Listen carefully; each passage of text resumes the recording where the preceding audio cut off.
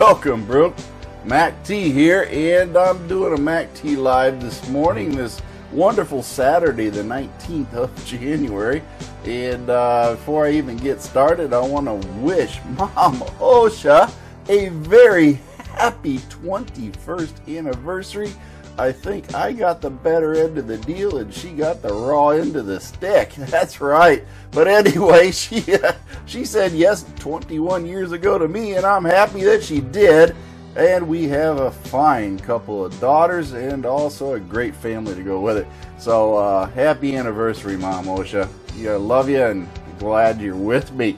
Anyway, uh, getting off to it. Remember, join up Mac T Ford Edge on Facebook, folks. Also, YouTube channel. Make sure you like and subscribe to that. This is self promotion at its best, but also Mac T Garage.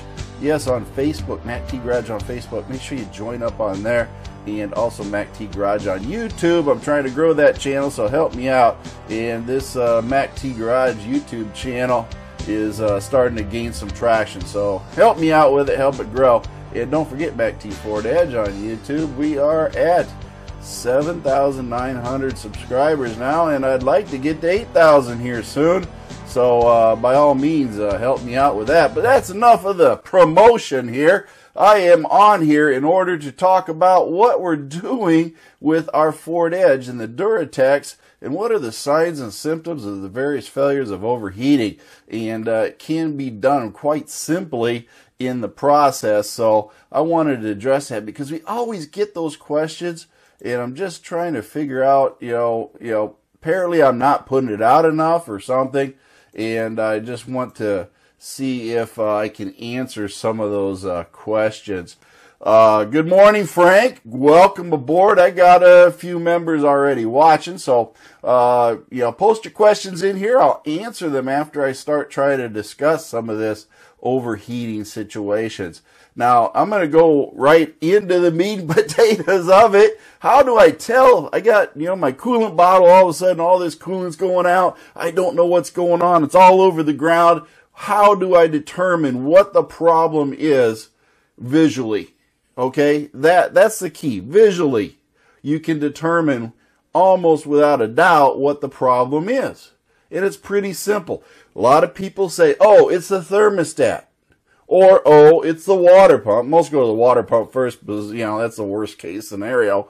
Uh, but it isn't always the case, folks. Overheating can be about three different things. Okay? thermostat, water pump, fans. That's it. How can I determine what is causing my edge to overheat? And you really got to ask yourself, I need to go and look. Yeah, well, use your eyes. Okay, and your ears. Pretty simple. You do it.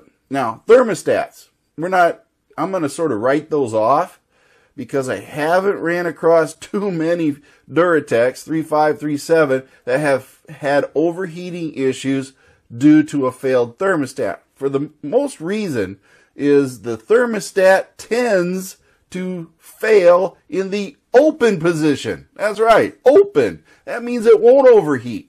Now there might be some cases where it doesn't open, uh, but for the most part, they fail in an open position.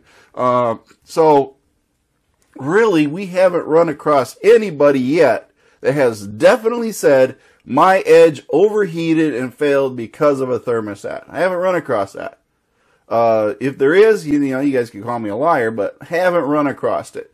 So, thermostat, that's a far, far off decision there. Next most common, and this is the most, second most common, yeah, you guys are thinking one thing. I'm going to tell you something different. Second most common reason for an overheating situation is the water pump. Yes, not the first, the second. Okay? Yeah, everybody talks about it, but hey, here's the deal. Not as many water pumps fail. Okay? True.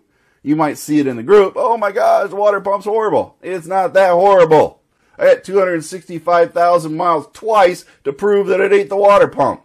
That's right, never had one fail. Might do with maintenance. I don't know. Either way, water pump failure. How do I determine visually and through listening whether it's water pump? Well, the water pump visually if your coolant bottle's empty. okay, that's a first sign, but that is also another sign of the number one reason. So we're we're not going there yet.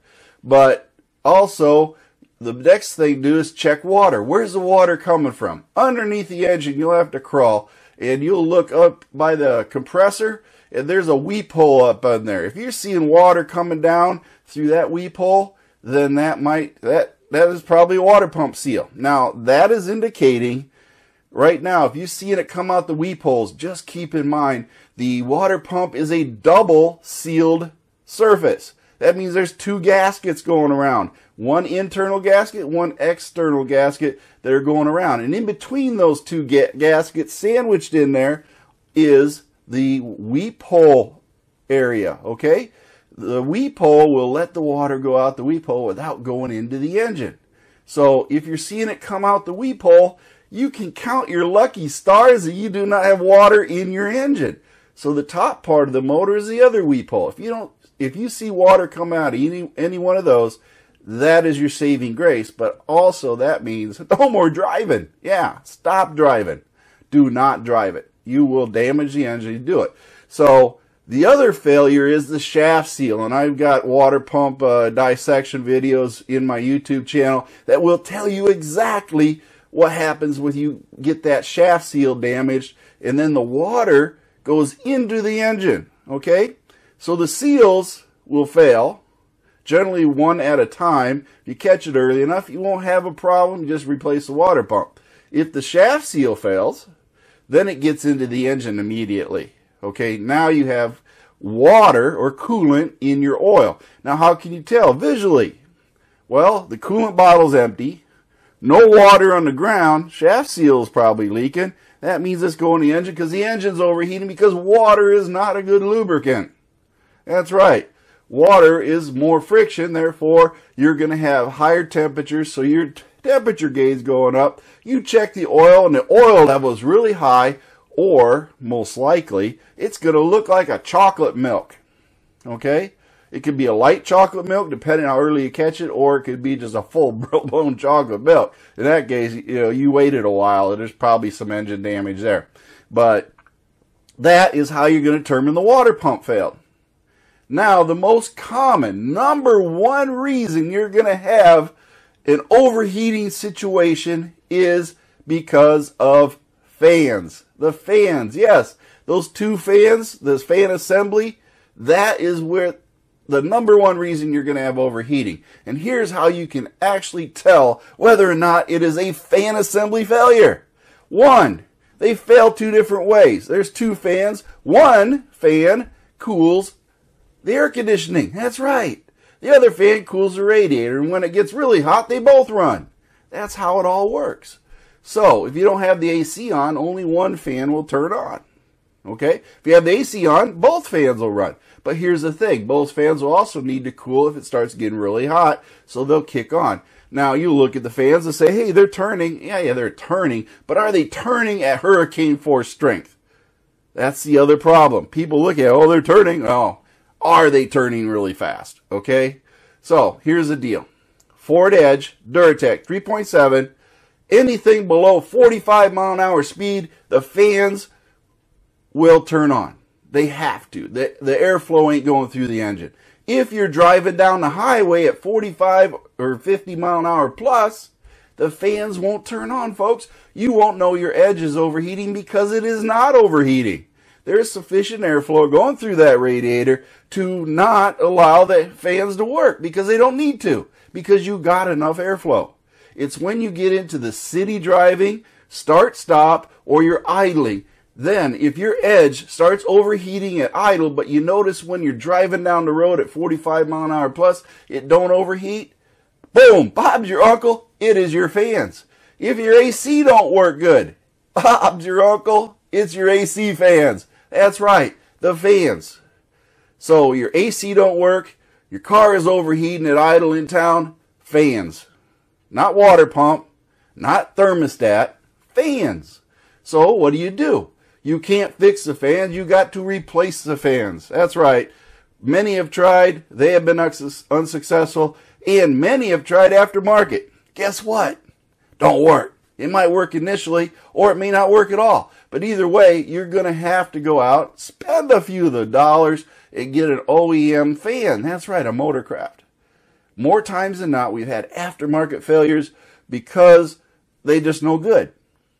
That's all there is to it. They're no good. So buy the Motorcraft fan, put it in, and your edge won't overheat anymore.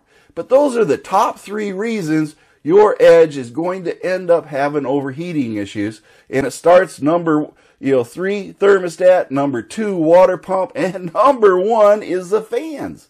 The fans. I personally replaced my wife's fans because she does tons of idling. I replaced them at 100,000 miles just to get rid of the chance that the fans fail while she's in idle. Yeah, I don't want the problem. So I preemptively got the fans and they're sitting in my garage right now. So guess what? If the fans ever fail on Lou, I will change them, change it out with the one that's in the garage and put it on Lou because I know it works. Yeah. So I got a standby in a way, and I kept uh, the phone calls down from my wife saying, "Oh my gosh, the car's overheating." Yeah. That's how I do it. So uh, I don't always swap parts from Blueberry to uh, to Lou, but in this case, I would do that because uh, I know the fans are functioning because I did preemptive work. But either way, I just want you to know that that's it for the water pump, the thermostat, and the fans. That is why your Ford Edge would overheat, and I just wanted you all to know that. And remember, like and subscribe Mac T Ford Edge and all this good stuff, Band of One, Mercy Girls one-liners, and everything else that go with this little segment. So uh, maybe some bonus footage at the end of this once I post it on YouTube. You have all a great day because my feet hit the floor and I'm having a great day. Thank you for watching MacT's videos remember to like and subscribe. This is a Mercy Go production.